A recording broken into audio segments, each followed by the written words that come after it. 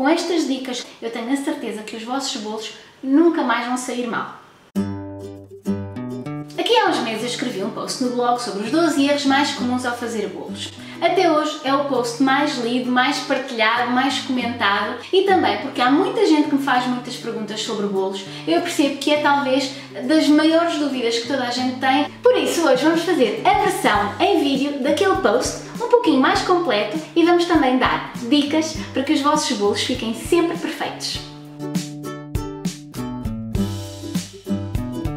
E então, os 12 principais erros ao fazer bolos são: primeiro, erros, enganos ou substituições nas receitas. Este é um erro muito comum. Acontece quando nós muitas vezes nos enganamos a pesar algum ingrediente, quando nos enganamos e esquecemos de pôr algum ingrediente, isso acontece a toda a gente. Temos de estar um bocadinho atentos para isso não acontecer e em relação às substituições, muitos erros acontecem, muitos bolos calham mal porque há muita gente que faz substituições de ingredientes. Portanto, o melhor é não fazerem substituições se querem que a receita dê certo. O segundo erro mais comum ao fazer bolos é a massa muito batida. É muito comum nós batermos muito, muito a massa. É um pouco cultural, as nossas avós, as nossas mães sempre nos ensinaram que as massas dos bolos deviam estar bem batidas, deviam fazer borbulhinhas. Isso é certo, só até misturarmos a farinha. Depois de nós misturarmos a farinha, nós não devemos bater muito a massa do bolo, porque senão vamos desenvolver o glúten que está na farinha. Por isso é que muitas vezes os bolos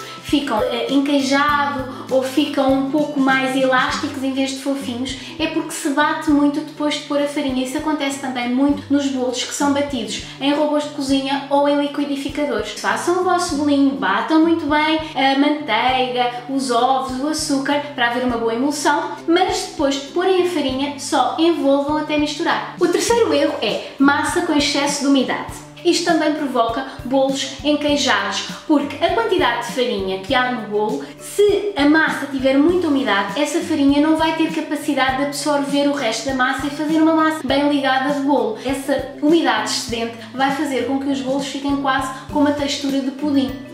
Se vocês gostam, tudo bem. Se vocês não gostam, não era o planeado, aí vocês têm que perceber porque é que essa massa tem muita umidade. Pode ser um erro da receita, como nós falámos no ponto 1, ou então, normalmente acontece muito em bolos que sejam à base de fruta, cenoura, bolos de laranja, bolos de maçã, quando nós usamos fruta muito grande. Se a receita pede, por exemplo, duas bananas ou duas cenouras, nós devemos ter em conta de usar umas bananas e umas cenouras de tamanho médio. Se vamos usar duas cenouras deste tamanho, em vez de duas cenouras deste, vamos estar a pôr o equivalente a quatro cenouras e vamos estar a fazer com que o nosso bolo tenha excesso de cenouras e excesso de umidade. O quarto erro é a massa com pouca umidade. É o contrário do erro anterior. Isto acontece muitas vezes com receitas em que nós usamos ovos pequenos ou então o contrário do erro anterior em que usamos peças de fruta muito pequeninas. Então a massa fica desequilibrada. Isto vai provocar bolos secos e esfarelentos. Nós devemos sempre usar ovos gel,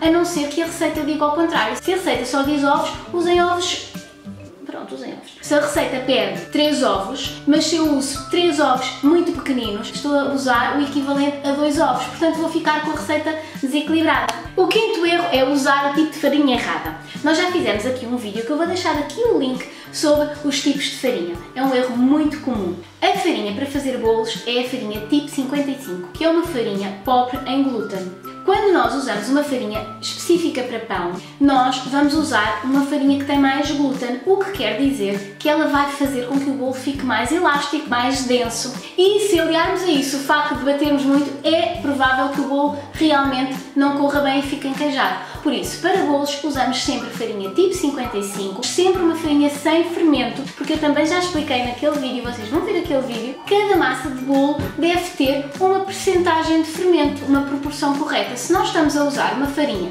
que já tem fermento adicionado, vamos sempre usar a mesma proporção de fermento, que muitas vezes há de ser pouco e muitas vezes há de ser muito. O que nos leva a falar do erro número 6, problemas com o fermento muito, pouco ou já sem validade. O fermento deve ser usado na proporção correta para cada massa, sempre a quantidade que vem na receita e uma dica é vocês medirem com estas colherinhas porque isto vai uniformizar a vossa quantidade de fermento. É muito difícil pesar o fermento porque normalmente são quantidades pequeninas, as balanças não assumem, por isso estas colherinhas são a maneira ideal para medir o fermento nas vossas receitas. Quando uma massa tem muito fermento, o bolo cresce muito, abre como um cogumelo e racha. Isso é sinal que vocês puseram muito fermento, ou porque usaram uma farinha com fermento e ainda lhe adicionaram mais fermento, ou porque juntaram mais fermento do que a massa precisava. Da mesma maneira, se usaram menos fermento que a massa necessita, o bolo vai crescer pouquinho, e muitas vezes fica seco. Se o vosso fermento já passou da validade, ele vai atuar, ou seja, ele não vai atuar, vai fazer com que o bolo não cresça. Quando vocês não usam muito fermento, o ideal é comprarem embalagens muito pequeninas. O fermento muitas vezes, mesmo ainda estando na validade, está muito tempo aberto, acaba por perder as propriedades. O sétimo erro é usar o tipo de forma errada. Há imensas formas e cada receita deve ser feita numa forma que vá fazer com que ele cresça perfeitinho. As formas devem se encher a 3 quartos da capacidade, que é para o bolo ter espaço para crescer, mas não ficar muito baixinho. Se vocês usam uma forma muito grande, a vossa massa vai ficar muito baixinha e o vosso bolo também, além de ficar muito baixinho, vai ficar seco porque vocês vão deixar no forno o tempo que a receita diz, mas como ele vai cozer mais rápido porque está mais baixinho, vai ficar seco. Se vocês usarem uma forma pequenina, vai acontecer que a massa vai ficar muito condensada na forma, não vai conseguir cozer no meio. Isso muitas vezes faz com que os bolos não cozam na totalidade no meio e depois do forno, quando a gente tira, eles abatem. Muitas vezes os bolos saem do forno e abatem e isto pode ser uma das razões, que é o bolo não estar cozido na totalidade porque vocês estão a usar uma forma muito pequenina para a quantidade de massa. O oitavo erro é as formas mal untadas. Nós também já fizemos um vídeo sobre como untar corretamente as formas, eu vou deixar o link aqui. As formas devem se untar com margarina ou manteiga e depois farinha. Agora, atenção, há muitas margarinas que não são tão bem emulsionadas e têm um excedente de água. Então, quando nós estamos a passar na forma, muitas vezes formam-se gotículas de água na própria forma que não deixam depois o restante da margarina agarrar. Quando nós vamos pôr farinha, esses pedacinhos de água não deixam que a farinha agarre e muitas vezes é aí que vai agarrar a nossa massa e quando nós vamos desenformar o bolo, ele fica agarrado na forma. O que é que nós podemos fazer para isso não acontecer? Untar com manteiga, que não corremos tanto esse risco, ou então usar folhas de papel vegetal nas formas, que isso vai fazer com que o bolo desenforme sempre. Aqueles sprays são ótimos, mas não são convenientes para massas com muita umidade ou massas com pouca gordura. Ótimos para massas tipo bolo de iogurte, bolo 4 quartos, mas para fazerem um pão de ló ou uma massa muito, muito úmida, às vezes não resulta tão bem. O nono erro são os fornos com as temperaturas desajustadas. Isto é talvez o erro mais difícil de conseguir corrigir, nem tem a ver com nada que a gente faça, é mesmo um problema do forno. Vocês têm que conhecer o vosso forno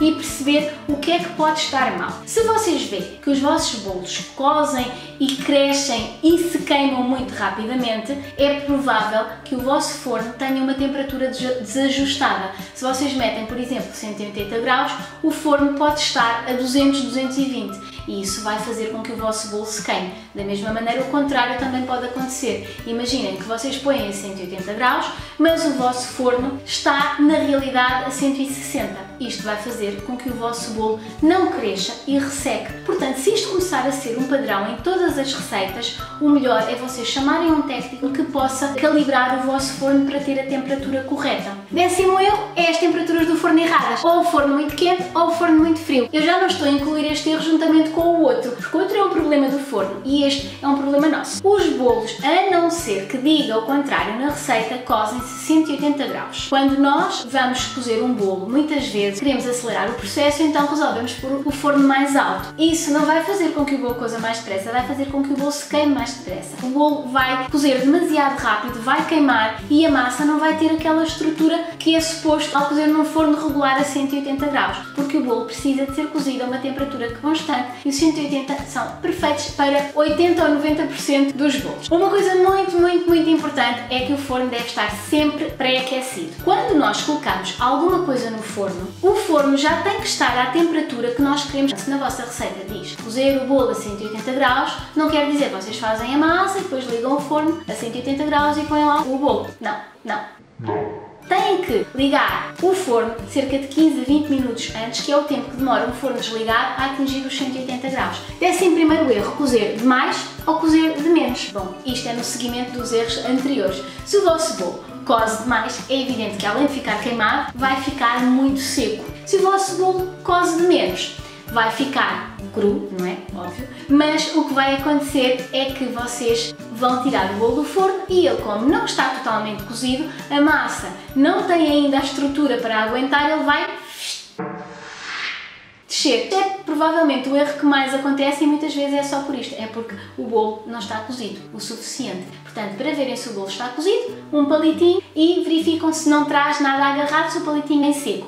Mas, a partir do momento que vocês espetam o palitinho e veem que ele já começa só a deixar ali uma pouquinha umidade, tem que estar atento para não cozer demasiado. Se vocês virem que realmente está a queimar o vosso bolo, vocês põem uma folhinha de papel de alumínio, que isso vai impedir que o bolo continue a ganhar cor, mas ele vai continuar a cozer. Último erro, décimo segundo, é desenformar muito cedo ou desenformar muito tarde. Em que altura é que se deve desenformar o bolo? Eu gosto de desenformar o bolo aí uns 5 minutinhos depois dele sair do forno. Eu não gosto de deixar o bolo arrefecer na forma porque cria densidade, aquela, o vapor e o bolo começa a ficar molhado no fundo. Eu tiro do forno e dou uma sacudidela logo na altura que sai do forno, assim, umas sacudidelas secas que vai fazer com que o bolo se solte. Depois deixo uns 5 minutos e depois desenformo. Claro que há muitos bolos que não se pode logo fazer isso, por exemplo, um pão de ló úmido não pode ser deformado quente. Se o bolo estiver cozido na perfeição, se for um bolo com uma massa equilibrada, pode perfeitamente ser desenformado à saída do forno que não lhes vai acontecer nada. Dependendo da receita, usem um bocadinho o bom senso, podem desenformar uns 5, 10 minutinhos depois de sair do forno, que é para ele também depois não voltar, aquela manteiga com que nós untámos a forma não voltar a ficar fria e depois o bolo quando nós vamos desenformar pode-se partir porque ficou outra vez agarrado à forma. Por isso o ideal é soltarem bem e desenformarem. Eu já disse isto tudo, só me falta dizer aqui esta parte.